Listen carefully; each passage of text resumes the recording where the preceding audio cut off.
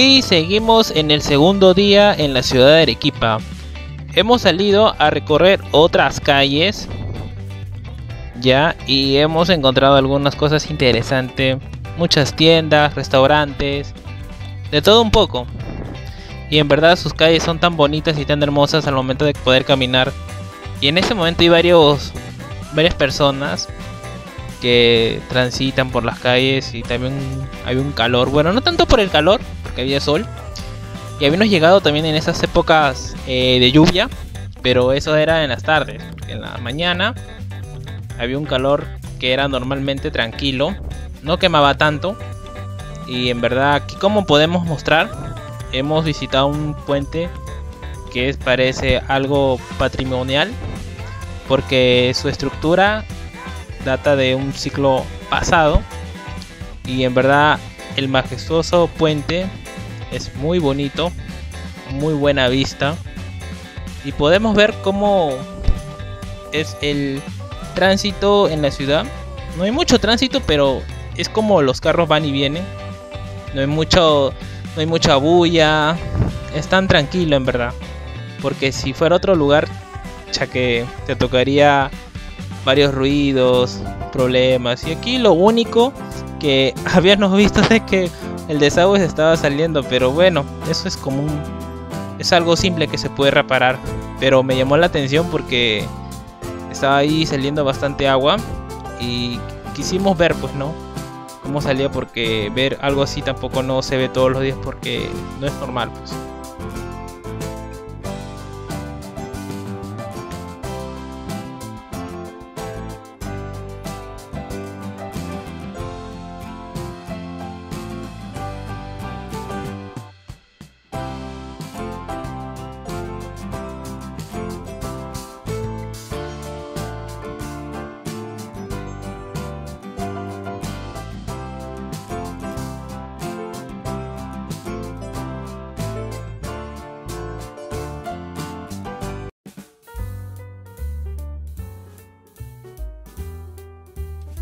Lo que me llama la atención es la estructura del puente. Al parecer creo que es también un puente antiguo, pero bien hecho. luego entramos a un pasaje, porque para mí es un pasaje, que en verdad su camino es bajada. Me gusta el, el ambiente, la estructura de arcilla en verdad que está maravillosa y que siempre en Arequipa vas a encontrar. Y ahí uno de los puntos que hemos ido a conocer en Arequipa es la ruta del sillar, que más adelante se va a mostrar en el video.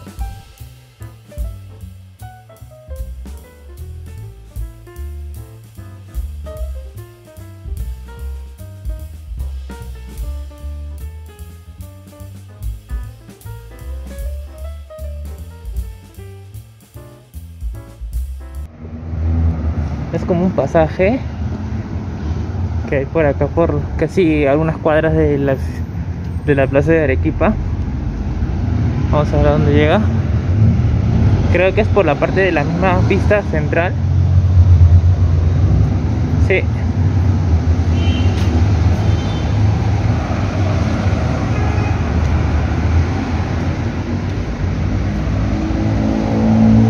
Ahí está la entrada. Es por la pista principal. Wow. Todo es hace de material de arcilla, ¿no?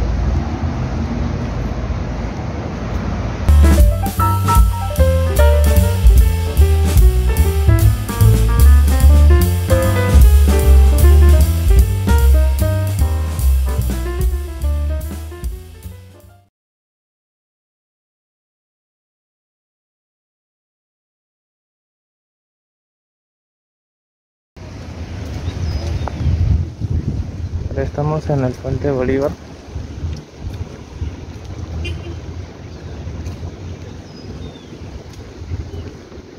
Y vemos una vista tan bonita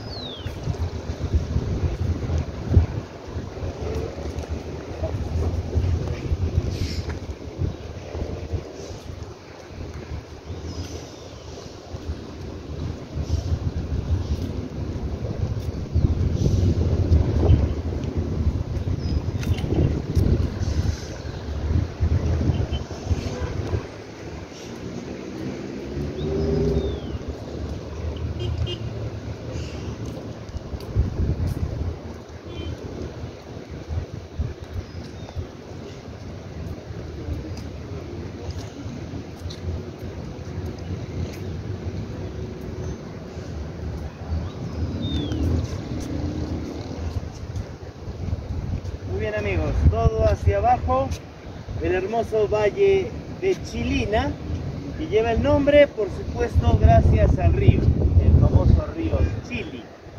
Lamentablemente el clima no nos es favorable el día de hoy porque, mira, una densa nubosidad ha cubierto a nuestros volcanes. Por eso no se pueden apreciar. Está cargando rápidamente el cielo, pero nosotros nos vamos hacia allá, mira. Está blanquito el cielo. 18 kilómetros dirección noreste de la ciudad. Nos espera el distrito de Cerro Colorado. En estos momentos tú estás en el distrito de Sachá. Comencemos con las fotos amigos y volvemos hacia la unidad. ¿Listo? Dame las con el hermoso valle. Estás en, las, en el valle del Choclo.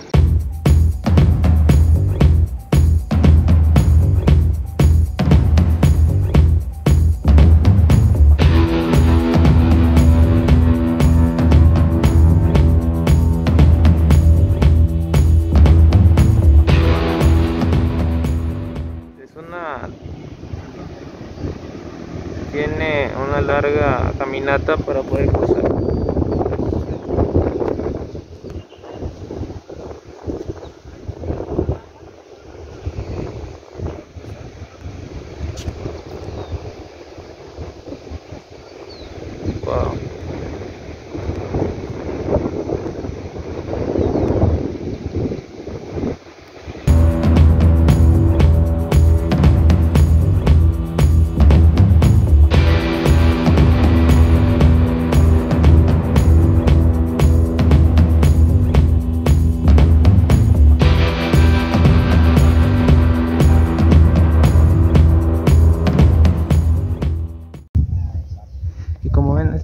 Estamos ahorita en la ruta del sillar. Es un, un valle.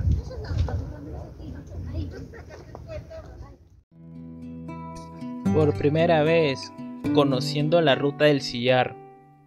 Y en verdad es muy hermoso. Ver de dónde surge la piedra que simboliza Arequipa y sus calles. En verdad muy interesante es todo un enorme atractivo turístico. No puedo decir más, porque en verdad eh, ves las esculturas, cómo lo tallan, y te quedas asombrado. Porque primera vez que veo esto en un video o llegar a conocer el lugar, porque es algo turístico.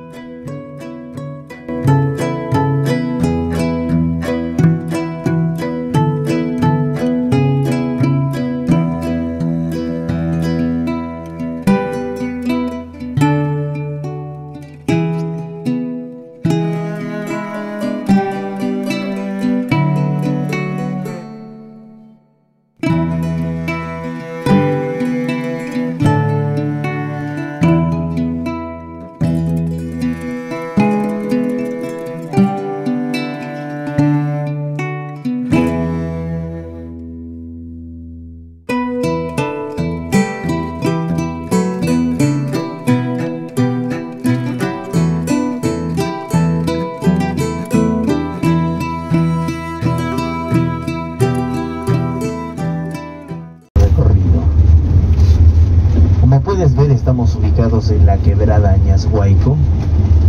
Como te decía, el nombre significa quebrada donde habían zorrinos. Ya no hay más.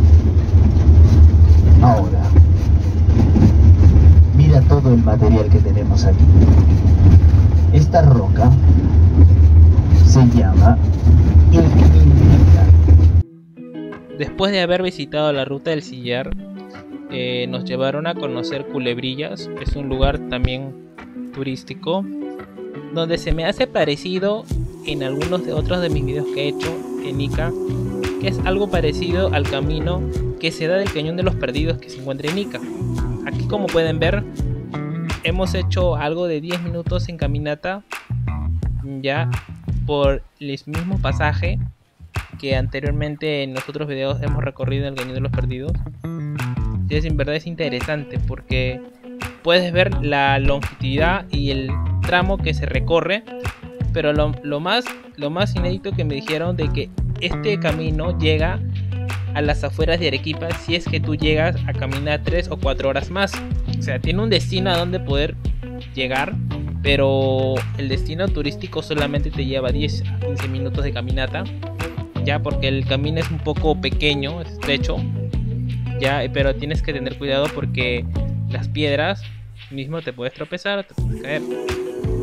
Aquí como podemos ver eh, el pasaje, un pasaje, caminas, vas conociendo y el ambiente en verdad es algo interesante, muy chévere. Caminas trekking, haces tu trekking. Y como les vuelvo a repetir, termina saliendo de Arequipa. Sus 3-4 horas de caminata. Pero el guía solamente nos hizo 10 a 15 minutos de caminata, que hay una salida al otro extremo donde llegamos para poder culminar el camino.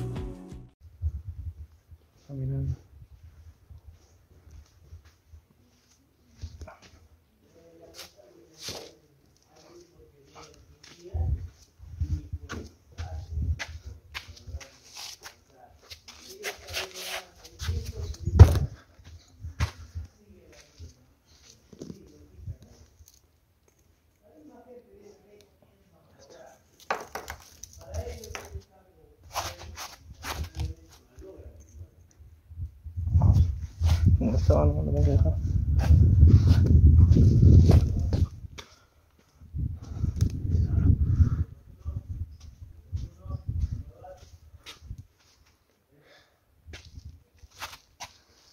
Es algo interesante pasar por estos lugares, por estos caminos pequeños, en verdad es emocionante. 100% trekking.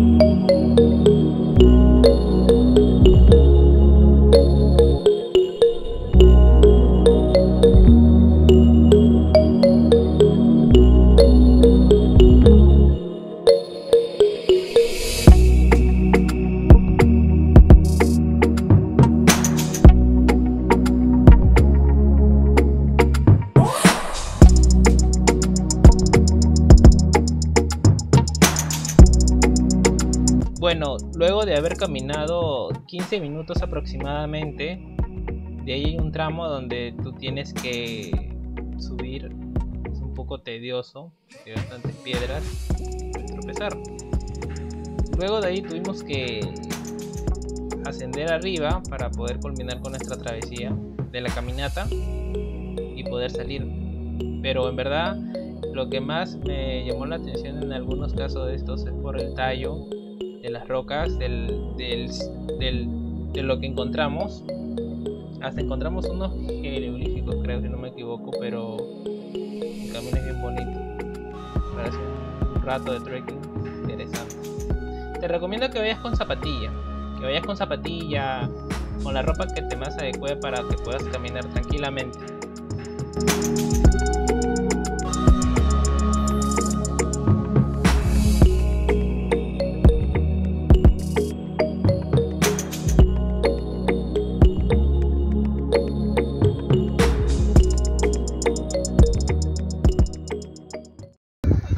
Terminamos con este video toda la ruta que hemos estado recorriendo por Arequipa.